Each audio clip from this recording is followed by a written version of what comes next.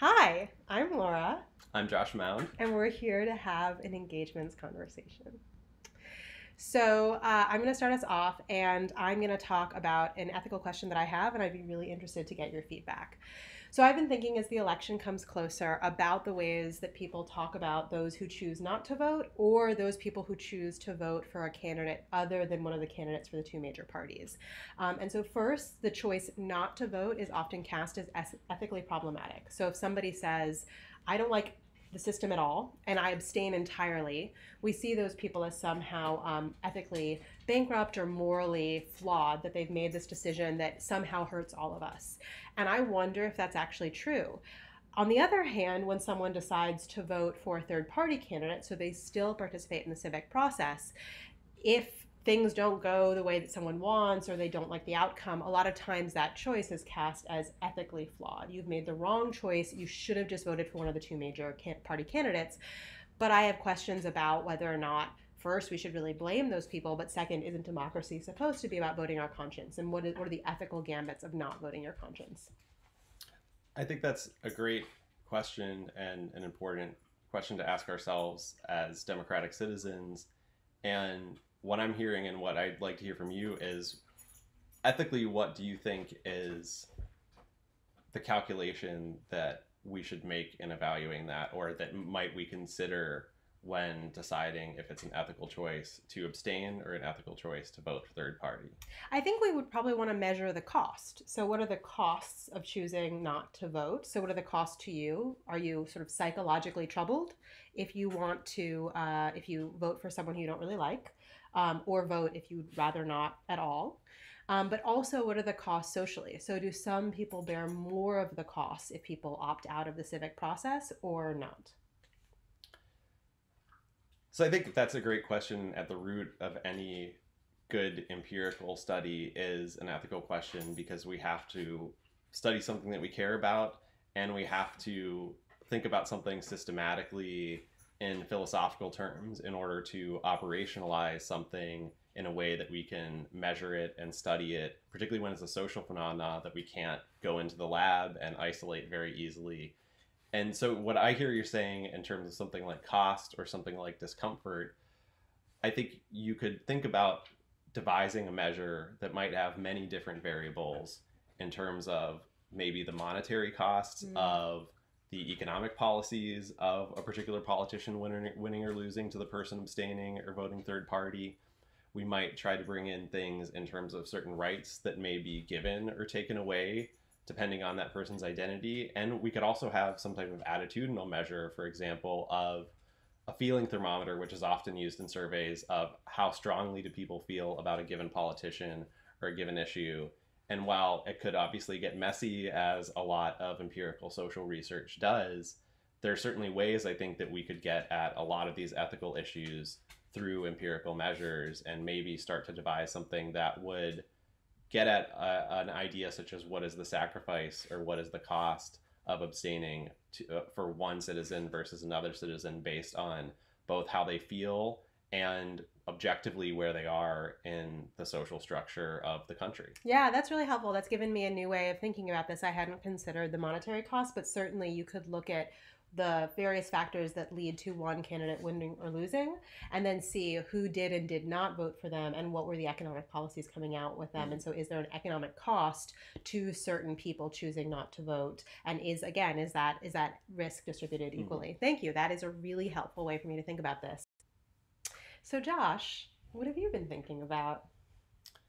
I've been thinking a lot about the technological progress and the medical progress we've been making in terms of treatments for new diseases and illnesses. And on the one hand, I think it is really a story of a triumph of, you know, empirical progress of the march forward of science that there are things today that we have that wouldn't have been imaginable 40, 50, certainly Yeah. 100 years ago um, before antibiotics were invented, let alone some of the nanotechnology, different types of, you know, new frontier medications. And so often when you read about this, it is presented, I think, in some ways justifiably so, as this is science moving forward and making us, you know, a better society at little to no downside costs. Yeah, I mean, I think that's a great point, and I am a you know a big fan of medical technologies that improve our lives. But I wonder sometimes when you know when we're making those decisions, what are some of the ethical decisions that are at the heart of those empirical studies or those medical studies? So, for instance, when doctors choose to research one kind of cancer, to devote a lot of resources, perhaps towards a cancer that they're really close to curing, it obviously seems good to me that they're going to cure it. But what if there's a far more pervasive or deadly cancer that we're much further away from curing, but eventually curing it would have a far greater net impact. Is that where those dollars should go? Um, and just in general, what about those diseases that are far harder to treat? Like, is that, and so on the one hand, I think maybe we should put our resources into that to things that are less glamorous that are sort of more drudgery and that are going to take longer to solve. But on the other hand i think you know people who maybe are have diseases that we're much closer to being able to treat effectively for those people it really matters that a treatment might be around the corner. Um, and so it seems to me that there's this real ethical question at the heart of some of those empirical studies. What do you decide to work on? Um, and what kind of decisions do you need to make ethically about the value of um, the different kinds of treatments that you're coming up with with and who it will affect. We know there's been a lot of pressure right now about how expensive some pharmaceuticals are um, and how hard it can be to get basic treatments in certain developing countries. And it seems like these two questions are really close to each other the financing of pharmaceuticals and the net good that they could do. Mm. It seems like you know ethical questions better than I do, but it seems like what you're saying in some sense this is an issue of diffuse cost sometimes mm-hmm. or very concentrated suffering and it's almost a classic utilitarian debate and yeah that you might have some people who could be a marginalized group either because of you know certain identities that are more likely to get a certain disease and therefore are less likely to get attention or just that some illnesses are inherently rare but cause a great deal of suffering to the people that have right. them where there are maybe minor annoyances that affect lots of people and I wonder how would you think through adjudicating, you know, something that is a minor annoyance to lots and lots of people versus major suffering to a few people. That's right. You know, it makes me think some about some of the things that people like Alexis de Tocqueville said in Democracy in America when they were talking about the democratic process, um, where Tocqueville was really concerned about the tyranny of the majority. So we believe in the United States, a majority rule, it does have this kind of um, relationship to utilitarianism. The net good is the positive thing to do. That's the ethical choice. Um, but I wonder when we think about this tyranny of the majority, just because the most people want something doesn't mean um, that it's necessarily a good thing. Lots of people can actually want something that we might say is really ethically troubling. And so when we think about things in these terms, um, I wonder, I worry about what might be being left out. I think that brings up a good uh, measure of desire or measure of suffering, and that we always tend to turn to money, particularly in a commodified healthcare system. Mm-hmm. And the ability to value your life is therefore very unequally distributed and someone could you know monetarily value a minor suffering at much more than someone else could value their entire life not due to any sort of emotional or affective value they attach to that but simply because through other means they have the ability monetarily to demonstrate to people in the marketplace that they care about that. That's right. And we're supposed to believe that there are some things that are not for sale or can't be bought and sold. As the song says, can't buy love.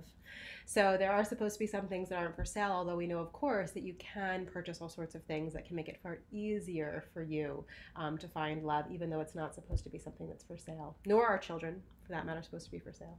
And I think something that this brings up is that there's an opportunity cost to any particularly you know great advancement could those resources could that brain power could the financial capital could the scientific capital have been dedicated to something else that would have ultimately made the world an even better place by alleviating more suffering however we decide to measure that than the decision that was made that in the moment could have seemed perfectly ethical and almost unobjectionable? Like how could it be bad to try to cure this one illness but it's always a question of what was the alternative that could have been done. That's right. Or when we think about the history of pesticides, at a moment where you're worried about crop yield, it did not immediately seem ethically problematic to kill any pest that might be damaging your crops. Obviously, in a moment of climate change, we might think about those decisions quite differently. So, good to remember, of course, that all ethical questions are um, considered in context, and you don't always have all of the information at your disposal when you make that decision. And that even seemingly unobjectionable empirical progress has a lot of ethical concerns that might be baked into it that are hidden from us upon first view. Yeah, cool. Well, I think this has been an excellent engagements conversation. Thank you. Bye.